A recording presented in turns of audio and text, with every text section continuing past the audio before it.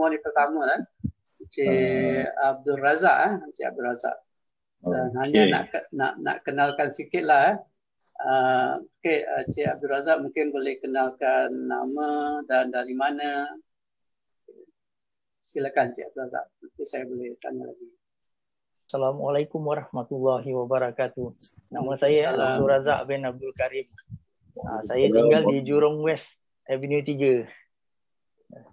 Inilah daripada Facebook kan sejak kita berkenalan tahun 2017 lah. tahun 2017 tapi masa tu saya ikuti perkembangan lah perkembangan Haji di web di blog-blog Haji kan. Hmm. lepas lebih kurang dalam 3 bulan ah, saya rasa agak menarik lah. Saya rasa ini lah yang saya cari kan selama ni kan. Ah, jadi daripada situ lah daripada 2017 bulan 10 hari bulan 11 uh, saya terus mulakan langkah pertama lah untuk menyimpan emas lah, menabung emas. Sebelum ni tak ada lah tapi yang lama tu masa apa skim zaman-zaman skim cepat kaya dulu kan saya ada jugalah. Oh, ada dalam skim-skim cepat kaya lah tapi lingkup lah. Ada ada terlibat juga eh? Ada ada terlibat jugalah. Jadi Masa. setelah lama mencari kan akhirnya kan saya jumpa apa yang saya nak cari ya dekat public goal ni kan. So boleh cerita tak uh, pengalaman manis bila dah tahu tentang emas ni? Ya pengalaman manis eh bersama Public Gold eh. Kerana Public Gold banyak menganjurkan seminar-seminar kan. Jadi daripada situ kita dapat ramai kenalan lah, dapat berkongsi pendapat, dapat menimba ilmu baru daripada teman-teman lah. Terutama daripada Pak Haji sendiri, Cik Jalani, Cik Faizal kita kan. Dan Puan Biba dan Nolila. Ha, jadi banyak kongsi pengalaman. Jadi daripada situ kita dapat belajarlah. Kalau kalau katakanlah kalau ada orang baru eh, orang Saya. baru yang nak mulakan simpan emas, apa uh, saranan Cik Abdul Razak? Ya, pada siapa yang baru nak mula simpan emas kan, yang penting sebelum kita menyimpan emas, kita harus ada ilmu lah tentang emas tu lah. Ha, kita harus ada ilmu, kita nak rajin banyak membaca lah. Jadi kita tahu tujuan apa kita simpan emas.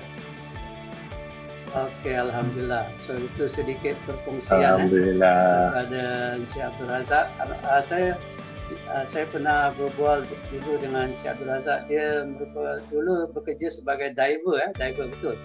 Saya saya sebagai penyelam komersial lah. Uh, wow. Penyelam komersial lah. So uh, macam-macam jumpa kat, kat dalam laut. ya, saya macam-macam lah. Mm-hmm. Okey, okay, terima kasih akan telah berkongsi dengan kita.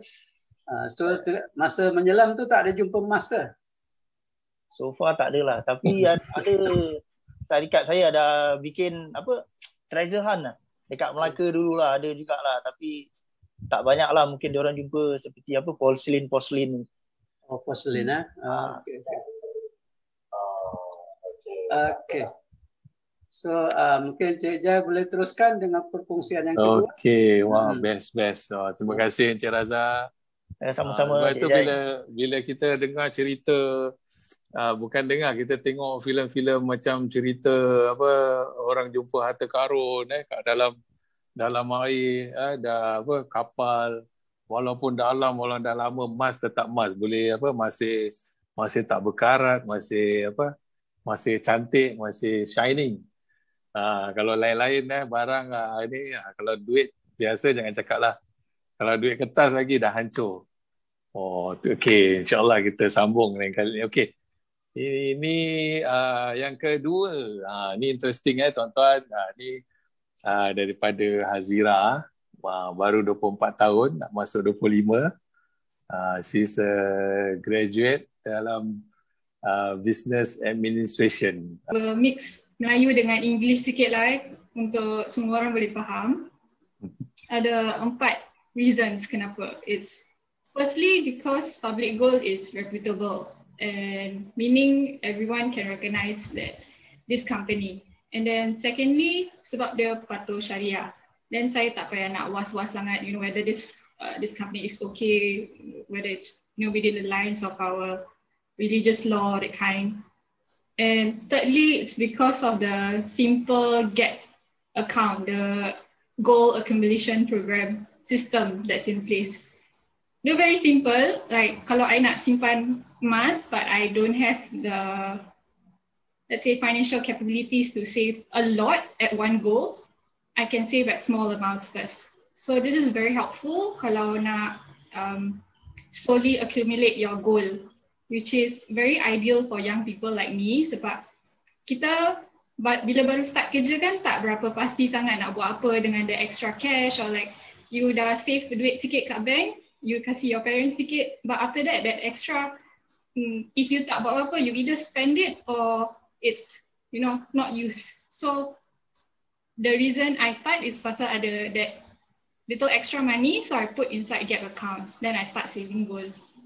Yeah, and lastly, the fourth reason, the unique thing about public gold is pasal dia ada banyak cute designs eh. Macam anyone else tak ada cari this kind of uh, design macam Disney prints and then got uh, Avengers also very cool lah and unique lah. This is quite uh, attractive for the young people also. Yeah. Apa-apa pesanan untuk ini orang-orang muda yang belum mula lagi? Pesanan yang saya boleh katakan is tak payah nak takut-takut sangat kalau nak start save hmm. uh, goal because it's nothing scary. You should just uh, begin because it's for your own future also. Okay. So uh, apa lagi eh yang uh, doing online is it transfer duit apa ni semua tak ada I think you do by yourself which is baiklah uh, so maybe nak terangkan is it senang ke susah ke atau macam mana maybe yang part susah is familiarity bila baru nak start because you tak tahu sangat you tak faham uh, what the graph is what the explanation is for these things or that thing. But that's why it's important for you to have someone who's knowledgeable you can refer back to, boleh tanya kalau tak sure. Pasal kalau you um, sembarang tanpa ilmu pun tak berapa baik sangat lah. Okay. So it's, it's best you can check with someone you know. It's very simple lah actually. Everything can be done online. Everything simple eh? Okay. So maybe last share Azira punya, what's your your your goals actually your target atau apa-apa untuk yang simpan emas ni ada tak hmm, maybe what i want to see is also for kita punya community especially not just uh, you know within the community but also people within my age group to be equipped with knowledge pasal i think a lot of my friends still tak tahu this platform. Okay. Platform eh. Ah, betul. Okay. Okay, itu aja. Terima kasih. Uh, ada Haji nak tanya ke apa? Ya, ya. Uh, saya rasa ramai ya lagi uh, anak-anak muda ya yang belum tahu lagi tentang betapa pentingnya simpan dalam emas. Eh. Uh, okay. So, mungkin nak tanya Hazira sikit lah. Macam your age gini kan. Uh, apa yang penting sekali untuk pertama kali kita simpan emas ni untuk apa yang pertama sekali? Apa yang paling penting sekali ya? Uh, definitely untuk jangka masa panjang lah. If duit tu there's always fluctuations and inflation. But gold it's always increasing lah in value. So for long term, it's very important to start saving your money with gold. Okey. Okey, terima kasih Hazira. Semoga semoga semoga ini dapat jadi satu apa uh, pengajaran eh pada anak-anak muda macam Hazira ni uh, simpan emas lah. Sebab simpan emas ni bukan untuk jangka masa pendek ya. Eh. Sebenarnya untuk long term eh. Hazira ha, Hazira umur berapa? 24 tadi kan? Ah ya yes, saya. Umur saya 25, saya dah simpan duit eh tapi masa tu tak ada orang kenalkan saya tentang emas. Tapi kalau orang ada kenalkan saya tentang emas, memang saya dah tukar daripada duit note tu, duit Brunei, duit Singapura, duit Malaysia, duit Indonesia, lebih baik saya tukarkan pada emas. Ha, itu yang saya tanya Hazira. So, kita move yang paling baik lah untuk Hazira. Mulakan daripada muda. Ya, itu saja. Okey, jadi okay. boleh teruskan. Ah, okey, alhamdulillah. Baik eh kita dengar daripada pandangan-pandangan lain yang berbeza. Sebab tu emas ni untuk siapa?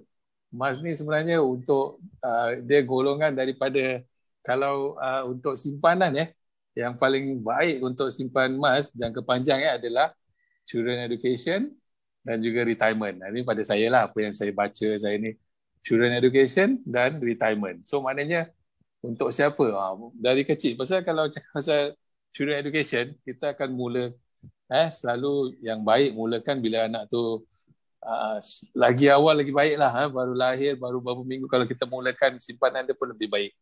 Uh, dan untuk hari uh, retirement hari tua, hari tua uh, itulah jangka panjang lah eh. So dia explain dari golongan semua tu yang baiknya. Terima kasih. Assalamualaikum warahmatullahi wabarakatuh. Waalaikumsalam. Assalamualaikum warahmatullahi Nama saya Haryun dari Jurong West. Uh, oh, dua orang kan Jurong West? Ya, ya, ya. Sama dengan Cik Razak. Okey, silakan. Saya kenal Public Gold baru setahun. Tahun lepas di apa dikenalkan oleh Cik Jailani saya. Hmm. Jadi waktu dalam masa jangka masa setahun tu saya belum lagi bermula. Uh, dalam tahun 2019 saya dah dikenalkan dengan Cik Jalani. Tapi saya masih lagi ragu-ragu, skeptikal yang mana pernah uh, mengalami apa tu experience bad experience dengan dengan investment-investment yang skim pakaian ni kan.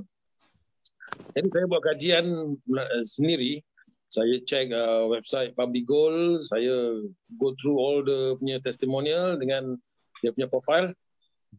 Saya rasa memang sesuai dengan Public Gold ni kerana dia memberi saya keyakinan bahawa pertama dia patuh syariah. Kedua, kita boleh dapatkan physical physical gold walaupun sekecil satu gram. Itu yang buat saya yakin sebenarnya dengan Public Gold. Jadi tahun 2020 saya pun call Cik Jailani ya mengatakan saya ingin ingin buat satu pelaburan lah join ini public goal lah. So Disember 2020 tahun lepas saya join. Dan kenapa saya simpan emas eh? Sebenarnya simpan emas ni saya tengok pada jangka panjang dengan melalui webinar-webinar daripada Haji Sulaiman dengan Jai, saya follow all the webinar dan saya yakin, pertama yakin dengan uh, simpanan emas ni. Kenapa? Pasal uh, dia membuat kita jaminan masa terdesak uh, dalam masa jangka panjang. Contohnya seperti pandemik yang berlaku sekarang. Kalau saya simpan sekarang, saya rasa pun belum terlambat lah. Kalau saya mula simpan sekarang, bila berlakunya sesuatu lagi dalam masa jangka masa 10 tahun, emas ni akan jadi saya punya pembantu. Pasal emas punya harga melalui menurut daripada graf pertama Haji Sulaiman tadi, emas sentiasa naik harga emas. Jadi kalau masa-masa terdesak, saya rasa emas ni sangat berguna untuk kita tukar atau jual atau gadai. Pasal harganya tetap naik. Lagi satu, saya rasa emas ni satu satu kebaikan untuk hari tua saya jugalah. Jadi bila saya dah berlanjut usia uzur, jika saya maklumlah kita kalau dapat CPF pun tak sebanyak mana kan. Kalau umur tu dah 65, kerajaan akan kasih kita uh, 500 atau 1000 aja itu. Itu tak mencukupi untuk menyara hidup hari tua kita dengan pembayaran medical lagi lain, So saya rasa dengan simpan emas ni dia boleh membantu hari tua kita lah. Dengan lagi satu apa pun yang kita nak buat kemudian hari untuk sebagai modal perniagaan pun emas ni bagus. Dari situ saya minat dengan setelah saya nonton webinar-webinar dari Cik Jai dengan Haji Sulaiman, dari situ saya mula berminat tau dengan emas. So saya rasa dah masa untuk saya bermula lah Kan? Kenapa saya pilih public gold? Sebab public gold ni kita boleh boleh dapatkan emas dengan tiga cara yang mudah tau. Yang pertama, kalau kita mampu, kita boleh beli terus direct dengan public gold. Yang kedua, kita boleh gunakan EPP program. Bayar tiap-tiap bulan. Tapi ini bukan installment plan. Installment ada interest. Ini tak ada interest. kita bayar tiap-tiap bulan 6 kali atau 10 kali, kali yang terakhir kita akan dapat. Dengan yang paling saya suka sekali dengan Public Gold iaitu gap program. Ha, ini saya punya favorite dah. Pasal apa tiap-tiap bulan saya simpan 1 gram cukup lah Alhamdulillah. 12 bulan saya dah dapat 12 gram dalam masa setahun. Ha, jadi Alhamdulillah. Memang gap ini sesuai untuk saya lah. Sebab tu saya pilih Public Gold. Terima kasih Cik Jai dengan Cik Sulaiman eh. Yang mana Okey, sama-sama. Alhamdulillah. Terima saya dengan Public Gold ni. Wah. Nampak? Betul tak saya cakap? Saya punya opening. Uh, ini boleh beri uh, Cik Arun eh boleh boleh dia no problem. Dia boleh share macam cepat penceramah. Okey uh, apa ni? Uh, apa yang dia share tu uh, pointernya banyak lah eh. Alhamdulillah. Saya rasa uh, banyak banyak. Apa yang kita sampaikan alhamdulillah tu yang kita nak. Kita share kebaikan. Cuma uh, uh, Cik Arul selalu mention harga emas tetap naik tetap naik. Sebenarnya uh, tu kita perlu hati-hatilah sebab uh, harga emas dia ada naik dia ada turun. Uh, cuma bila kita ada ilmu insyaallah kita akan walaupun dia turun kita akan senyum. Pasal apa? Kita tahu apa nak buat. Hmm. uh, seperti tambahkan aset kita. Tapi uh, dia jangka panjang. Uh, dia kalau jangka panjang 10 20 tahun uh, itu apa semua sejarah semua ini uh, menjebelahi kita dia trend naik eh dia harga naik uh, tapi kita kena hati-hati pasal dia dekat memang dia naik turun Okey, terima kasih. Terima kasih. Terima kasih semua ya, Cik Raza, Cik Harun dan Hazira. Alhamdulillah perkongsian yang sangat baiklah. Okay, so uh, last but not least, eh, kita nak jemput lagi. Ini veteran sebenarnya, dia pun uh, veteran. dia sparring partner saya dulu. Tapi oleh kerana keadaan dia sibuk sekarang, dia hantar dia punya junior. Itu junior dia jalani lah. so hari ini saya jemput dia sekali lagi untuk berkongsi uh, tentang hmm. kenapa dia pilih public goal, apa sebab dia ada. Sebenarnya tak perlu saya uh, tanya. So kenalkan diri, dari mana dan kenapa dia simpan emas. Okey, silakan Cik Faizal. Terima kasih Haji Sulaiman. Assalamualaikum semua. Waalaikumsalam. Salam. Dah dua, dua tahun saya jadi host. Uh, tahun ni saya jadi tamu, saya jadi tamu jemputan pula. Uh, jadi uh, saya rasa okeylah untuk saya tak nak buang masa. Uh, uh, nama saya Faizal. Saya seorang uh, priority dealer di Public Gold uh, saya juga uh, seorang speaker bagi Public Go Singapore. Uh, cuma uh, berapa dalam masa berapa bulan ni agak sibuk dengan kerja jadi saya uh, saya masih aktif tapi aktif dah, uh, di belakang tabir. Hmm, tak uh, tak ke depan. Jadi uh, di mana di sini saya beri peluang Jaya Haji Sudiman dan lain-lain untuk uh, teruskan untuk seminar semua. Jadi uh, saya uh, mula berta, apa bermula dengan public goal tahun 2018 uh, agak dalam kalau tak silap saya dalam bulan 8 gitu uh, 2018 agak 3 tahun lah. Um, masa tu eh saya uh, sedang mencari sesuatu. Uh, saya ada satu masalah. Uh, masalahnya uh, saya suka menabung. Saya tak ada masalah menabung. Uh, tiap-tiap bulan tu memanglah ada selalu tepikan duit masuk dalam bank, tepi duit masuk dalam bank. Tapi masalahnya bocor. Tab, saya, tabung yang saya masukkan duit ni bocor, bocor. Jadi bila uh, simpan simpan simpan duit, bila tengok balik dalam bank, eh mana duit ni semua pergi eh?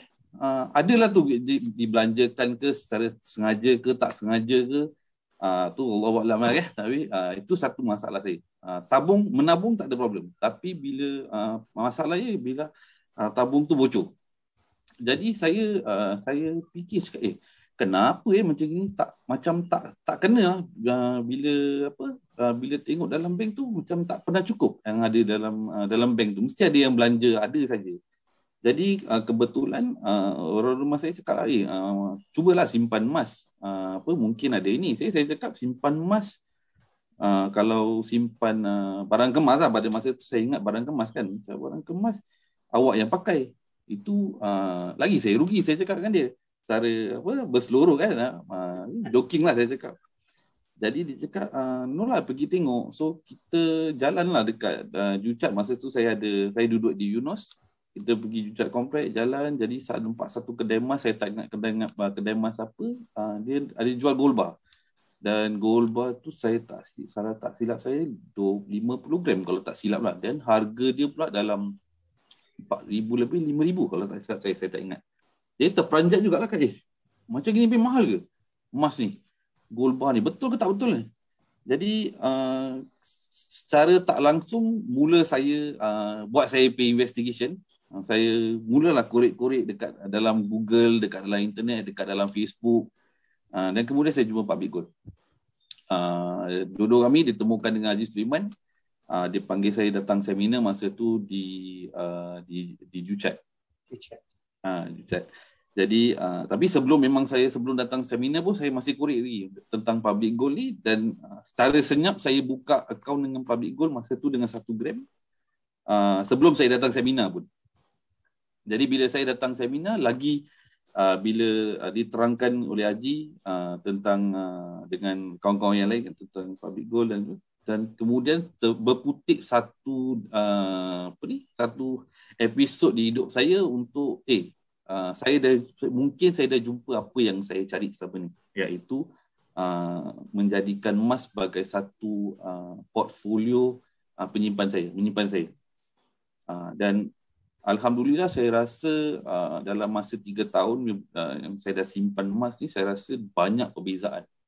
Uh, apa katakan kaya tu saya tak cakap saya kaya lah kan tapi macam tadi Cik Harun cakap kan uh, saya tahu saya uh, kita tahu kita ada duit. Uh, pasal apa? Emas tu bila diperlukan ada di dalam tangan dan kita boleh jadikan duit uh, jika perlu. Sama ada kita nak pajak ke kita nak jual ke uh, di situ. Uh, pasal emas tu ada intrinsic value. Uh, kita tak payah kita tak perlu takut eh kalau harga dia jatuh insyaallah dia akan naik balik tapi walaupun harga dia jatuh dia tak akan jadi kosong uh, jadi um, uh, daripada itu juga saya belajar saya gunakan emas ni sebagai satu um, platform bagi saya uh, untuk cuba jadi um, uh, debt free. Uh, jadi saya pun uh, biasalah kita uh, nak saya nak cakap saya muda uh, rambut pun dah start beruban. Jadi uh masa-masa tu kan kredit uh, card. Jadi beli barang kredit card, beli barang kredit card. Jadi cuma bila cukup bulan atau lepas 3 4 bulan bayar duit hutang kredit card. Jadi saya cuba be independent from credit card. Jadi satu contoh saya ambil saya ambil sebagai satu sharing eh untuk semua dua tahun setahun lepas kalau tak silap saya sebelum masalah covid ni lah setahun setengah yang lepas anak saya kemalangan uh, dan dimasukkan ke hospital uh, perlu pakai duit Uh, jadi uh, dalam masa itu memang dia ada insurans semua tapi sebelum saya dapat claim dengan insurans uh, saya harus keluarkan uh, wang daripada atau duit daripada kucing saya ni untuk membiayai uh, uh, kos hospital dia. Jadi uh, tu dari situ saya gunakan uh, apa uh, Arahnu untuk uh, mendapatkan uh, pinjaman melalui harta saya sendiri iaitu emas saya saya masukkan ke Arahnu saya ambil duit saya bayar uh, kos hospital dia dan kemudian bila dapat insurans claim dia saya tebus balik emas saya. Jadi daripada saya berhutang dengan bank atau saya berhutang dengan kredit kad, saya gunakan emas itu yang uh, milik saya sendiri sebagai satu cagaran untuk membuat pinjaman dan kemudian saya uh, tebus balik emas itu. Uh, okay, jadi Faizal, ada saya, soalan untuk awak. Oh, uh, boleh. Saya jarang tanya dengan awak ni. awak uh, umur berapa tahun? Dalam saya. Uh. Saya dah 39. Oh, masih muda lah, 39 lah. muda lagi. muda lagi, okey, Alhamdulillah. Ha. Saya rasa ruang awak sangat, sangat jauh lah untuk untuk untuk simpan emas ni. Awak, ya. Saya rasa tak terlambat, Ji. Uh, mm-hmm. Tapi kalau satu mungkin saya menyesal sikit uh, dan ini pada diri saya, uh, saya tak saya tak tem, saya tak bertemu dengan emas masa umur saya 20 tahun, 22 oh, ya. tahun, 23 ha. tahun. Ha, saya okay. saya dapat dalam lingkungan lepas 35 kan. Jadi apa yang saya terapkan, uh, saya ada tiga orang anak uh, dalam lingkungan 3 tahun hingga uh, 9 tahun. Uh, saya terapkan uh, ilmu emas pada mereka. Uh, jadi pada pada pada mereka yang uh, yang dulu uh, sering datang seminar public goal mereka tahu saya akan bawa anak saya. Mereka akan duduk diam-diam dengar uh, dan eh, sekarang pun uh, mereka uh, sikit sebanyak anak saya yang nombor satu dan nombor dua walaupun berumur 9 tahun dan 6 tahun eh sikit sebanyak tu diorang dah tahu emas tu apa. Simpan emas tu macam mana.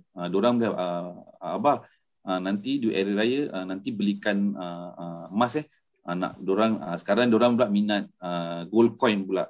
Uh, jadi uh, ni satu saya rasa uh, satu pendedahan yang baik untuk uh, uh, mendidik anak-anak uh, anak-anak kita daripada mula. Uh. Ya, okey, Cik Fazal.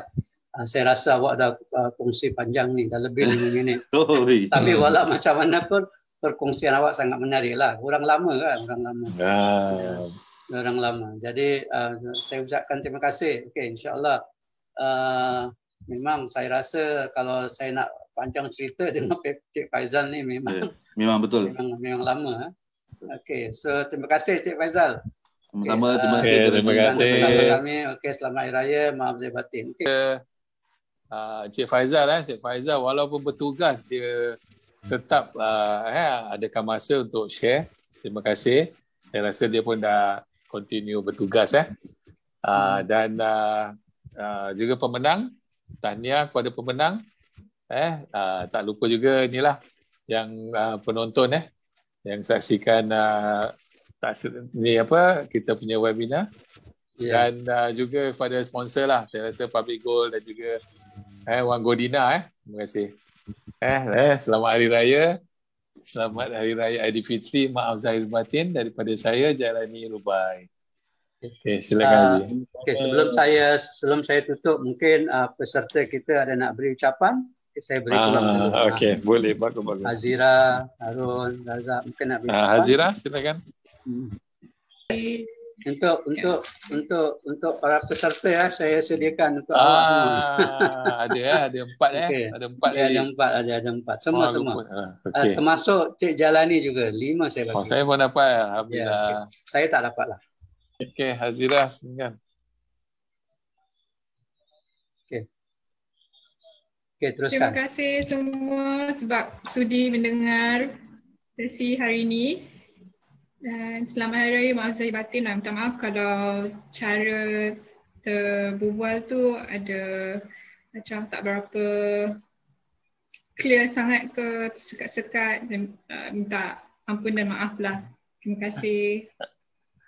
Okay. Terima kasih. Cik Harun? Ya, saya. Uh, saya juga uh, terima kasih kepada semua yang mendengar dan menonton live ini uh, dan juga saya ingin mengucapkan selamat hari raya, maaf jara batin, emas tetap emas. Okey. Okay. Raza ada saya ucapkan ribuan terima kasih dan selamat hari raya. Maaf saya maaf saya dan batin lah kerana berkongsi ilmu kan. Dan pada semua penonton-penonton semualah semoga mengorak langkah pertama lah untuk menyimpan emas ni. Ya, itu aja. Terima kasih. Ah, sama-sama. Okey, jadi okay. saya tutup eh majlis ni. Okey. Sekali lagi saya mengucapkan banyak terima kasih kepada semua peserta uh, dan pada yang beri sokongan kita tiap-tiap minggu ya, tak jemu-jemu dan alhamdulillah hari ini kita adakan lucky draw eh, sepenuh hari raya. Sebenarnya dah banyak kali kita setiap kali hari raya kita akan buat lucky draw. Jadi teruskan simpanan anda capai target kita apa kita nakkan dan insyaallah eh, emas akan membantu kita uh, pantun. Ini bukan pantun lah pepatah Melayu eh. Sediakan payung sebelum hujan. Okey, itu saja. Assalamualaikum warahmatullahi wabarakatuh. Waalaikumsalam. Waalaikumsalam. Terima kasih kerana menonton video ini dan jangan lupa untuk subscribe YouTube channel saya dan layari website saya onegolbina.com.